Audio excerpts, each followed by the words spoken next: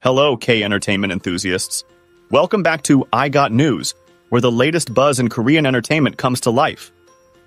If you're passionate about the beats of K pop, the twists and turns of K dramas, and everything in between, you're in the right place. We're here to keep you in the loop with the freshest updates, juiciest gossip, and exclusive insights from the Korean entertainment scene. We're all about staying on top of the hottest trends and delivering them straight to your screen.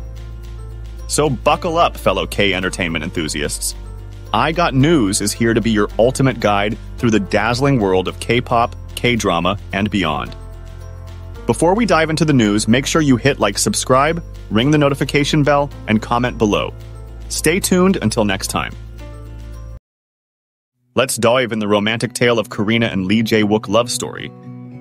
It all started at Prada's fashion show on January 14th, where Karina and Lee Jae Wook's eyes met for the first time.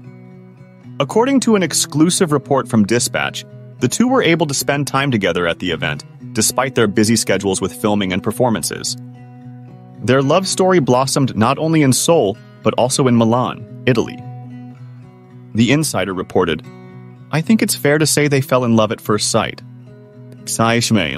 Their encounters in both cities were filled with love and passion, despite the distance and their demanding careers.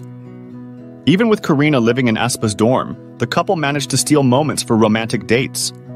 Karina would often meet Lee Jae Wook in his neighborhood, and she was spotted near his house late at night, a true testament to their commitment to each other.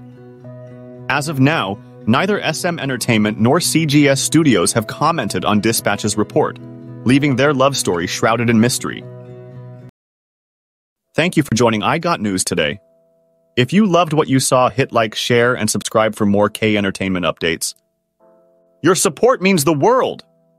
Drop your thoughts below and let's keep the K Entertainment conversation alive. As we sign off, keep spreading the K Entertainment love, stay tuned, and most importantly, stay fabulous. Until we meet again for more exciting news and updates,